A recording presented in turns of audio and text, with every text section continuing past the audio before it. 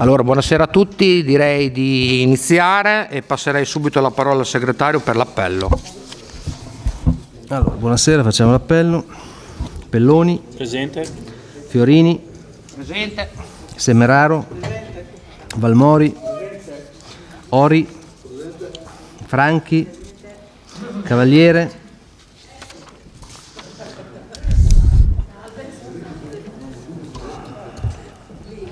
Sirotti, Uguzzoni, Iattoni, Facci, Covili, Pesci, Zagnoni, Gozzoli, Smeraldi, Cavani. Allora, la Gozzoli assente giustificata che è influenzata. Sì. Allora, nomino gli scrutatori. Iattoni, Franchi e Zagnoni.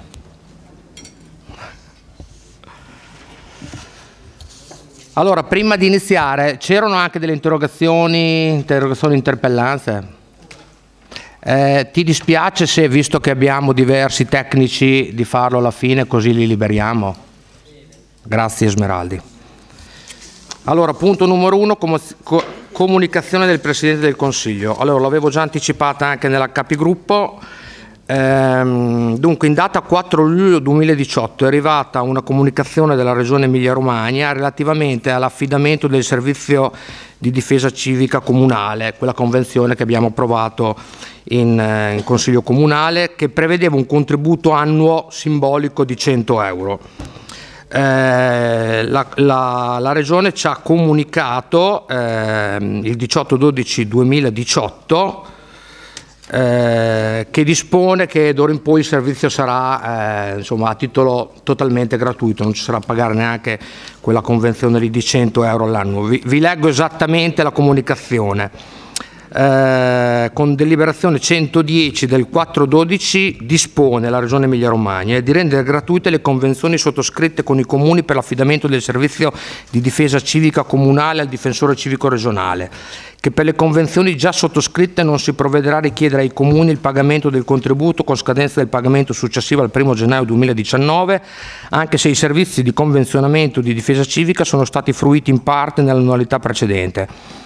Eh, quindi tutti i pagamenti già programmati con scadenza nell'anno, nell'anno 2019 non dovranno essere più eseguiti, che le convenzioni già sottoscritte proseguono gratuitamente a partire dal 1 gennaio 2019 fino alla scadenza eh, definita per ogni comune. Allora abbiamo optato per la comunicazione in consiglio in quanto la segreteria generale eh, insomma, si chiedeva se era il caso di rifare la convenzione, però la, la regione Emilia Romagna ha detto che insomma, non c'è bisogno, non vi arriveranno più la richiesta di pagamento, quindi non c'è da pagare niente. Punto.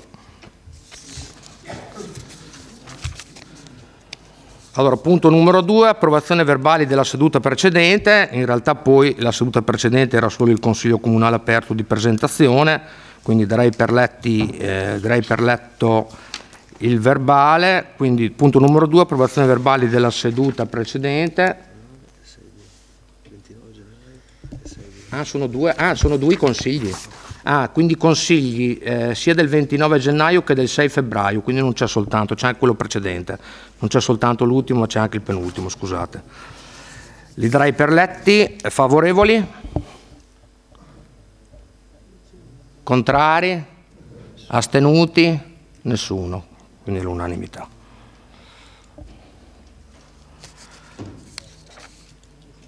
Punto numero 3, regolamento del Museo Civico di Vignola, adozione. Allora c'è stata la commissione in data 11 febbraio, presente anche la dottoressa Cristina Serafini, che abbiamo con noi anche stasera e che ringrazio, alla quale lascerei la parola magari per rifare un cappello introduttivo sorvolando magari dettagli che abbiamo già discusso in commissione. Grazie dottoressa. Allora, buonasera a tutti, ringrazio di, di, essere stata invitata. Premetto che è la prima volta, io lavoro al Comune di Vignoli da 21 anni, poi in ruoli diversi, è la prima volta che partecipo da questa parte, ho seguito diversi consigli in passato, ma qui non c'era mai stata. Quindi se sconfino, se sono troppa, fatemi dei cenni. Credo di essere stata invitata soprattutto non tanto per l'oggetto tecnico in sé, dopo dirò perché, ma forse anche insomma, per eh, umanizzarlo, renderlo un po' più reale e calare quello che in realtà è uno schema e uno standard che la regione ci fornisce, anche ci indica o ci impone di seguire, ma calarlo un po' insomma, nella realtà del nostro museo di Vignola e dare qualche traccia leggerò anche un po' più che leggere, insomma, però seguo perché sono una che si potrebbe facilmente perdere anche perché insomma è una materia che può essere anche appassionante, insomma, soprattutto la nostra realtà. Allora, io vorrei cominciare così anche un po' con una battuta per rompere il ghiaccio facendo riferimento a un articolo che è uscito sulla Gazzetta di Modena due o tre giorni fa, mi sembra il 14 febbraio, in cui si racconta e si dà l'esito di una scoperta fatta direi l'anno scorso nei pressi di in una località di Pavullo di un, eh, di un reperto archeologico alcune vertebre di Ittiosauro che è una specie di pesce cane del passato che è stato anche trovato in connessione anatomica, ovvero non sono stati trovati dei singoli pezzi sparpagliati, ma quel pezzetto di vertebre, cioè di colonna vertebrale, unita. E eh, è stata presentata alcuni giorni fa insomma, questo, questo reperto, lo studio che l'università ne ha fatto, credo in, in sala consigliare a Pavullo, e eh, a un certo punto insomma, allo scopritore, un geologo modenese, viene chiesto ma dove vedi la collocazione ideale per quello che hai trovato e lui ha risposto, lo cito dal giornale quindi non ero presente, in un museo, punto, quello di Vignola.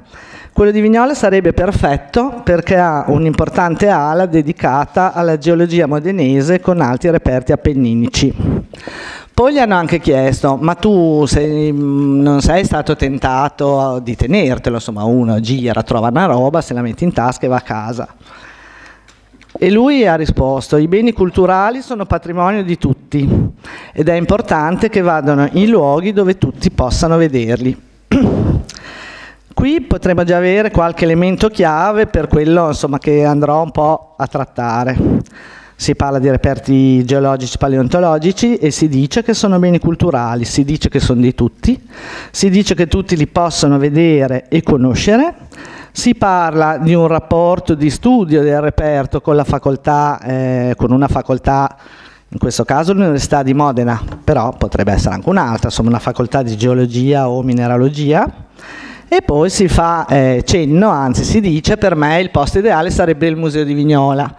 Questo ci fa, ci può far pensare e riflettere su una sorta, scusate se io delle volte sono un po' di parte, ma sono il tecnico preposto, quindi lo conosco, una sorta di reputazione assolutamente positiva che il Museo di Vignola ha, eh, soprattutto eh, nel rapporto che negli anni ha saputo mantenere, tessere, stimolare o recepire con appunto vari studiosi di facoltà universitarie, ci sono stati rapporti con Milano, con Modena, con Bologna.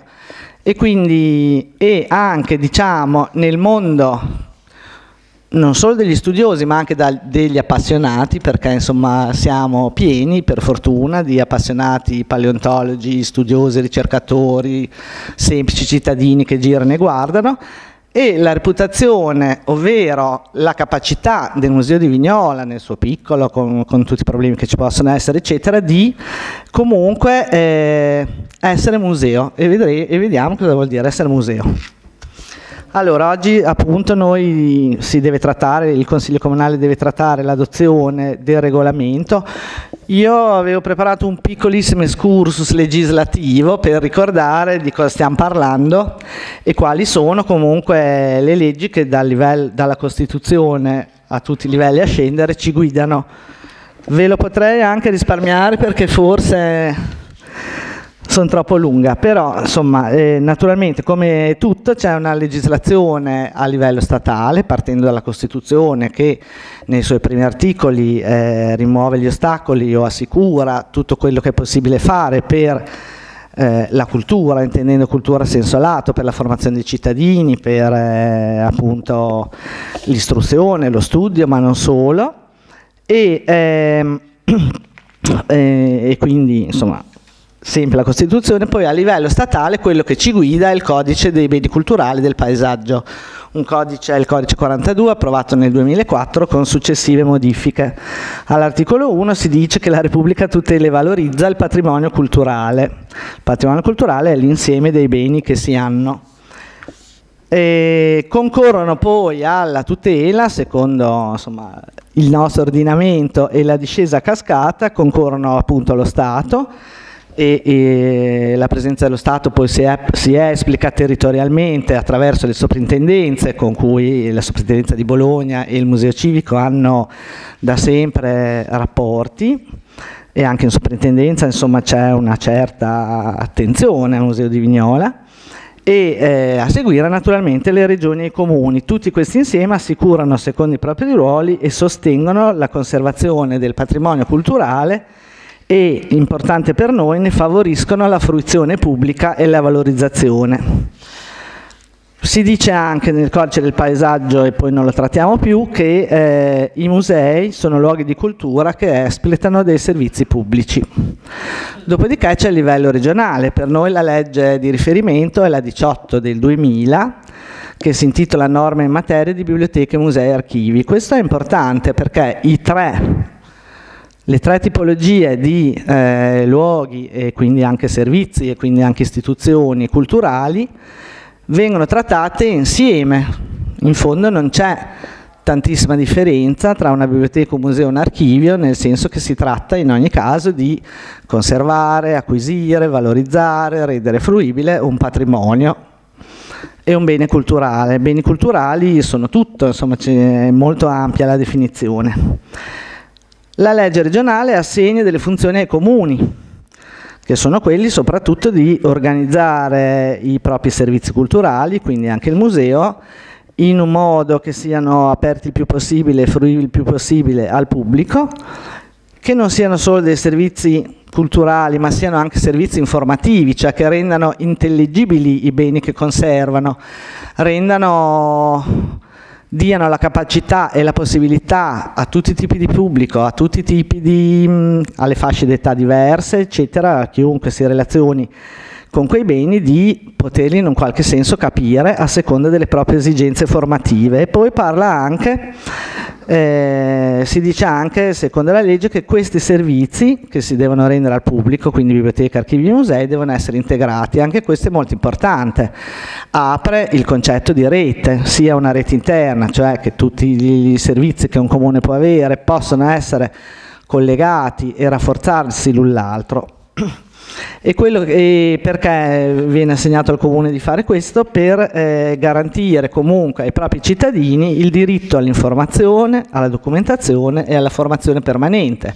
Anche qui ci stanno tutte le fasce d'età e tutti i tipi di eh, utenti, chiamiamolo pubblico. Quindi i comuni gestiscono, eh, istituiscono, gestiscono i loro istituti e ne approvano, dice la legge regionale, i regolamenti e la carta dei servizi.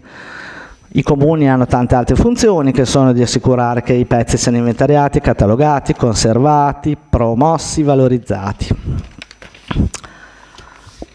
C'è anche un punto importante nella legge regionale che perché nominati, vengono nominati musei civici, è l'unica riga dove li nomina, poi dice musei dei comuni.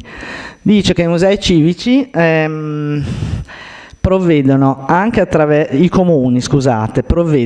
attraverso strumenti urbanistici e con il concorso dei musei civici ad individuare, salvaguardare e valorizzare dei beni culturali e naturali del proprio territorio. Questo credo che possa essere sottolineato perché ci sono già nel comune di Vignola mh, delle azioni o degli avvii di azioni che secondo me collegano il museo civico a strumenti urbanistici. Ad esempio, qualcuno forse sente parlare o ricorderà il contratto di fiume. Il contratto di fiume è, cioè è un'aggregazione di associazioni, portatori di interessi, eccetera, eccetera, che lavorano attorno al fiume e penso anche con un'incidenza o con un intento di incidere su uno strumento urbanistico o salvaguardia insomma, di questo patrimonio che abbiamo. Anche uno studio che è stato fatto e finanziato da questo comune per circa un triennio eh, ad opera dell'Università di Modena, che si è concluso da poco, sull'affioramento del Panaro, una particolare concentrazione di rocce, argille azzurre, insomma una parte vicino alla briglia tra via Zenzana e la briglia, che eh, presenta una serie di caratteristiche quasi uniche per il territorio e molto utili per eh, vari tipi di studi sul clima, sui pezzi stessi, eccetera, eccetera. Ecco, questi possono essere degli esempi, a mio avviso, e eh, a Vignola li abbiamo provati e portati avanti, eh, di cosa può essere un museo civico nell'accezione, e la legge lo dice, anche di presidio, di tutela del territorio, cioè un punto dove eh, dal punto di vista territoriale si vede un problema o si fa una scoperta, si sa che ci possono essere o degli esperti o comunque ci può essere la via di contattare poi anche altre, altri enti preposti e ci può essere appunto la via per eh, esercitare questa funzione di presidio. Presto dirò, poi molti lo sanno, insomma, che eh, nel nostro museo è attiva tramite convenzione appena scaduta da tanti anni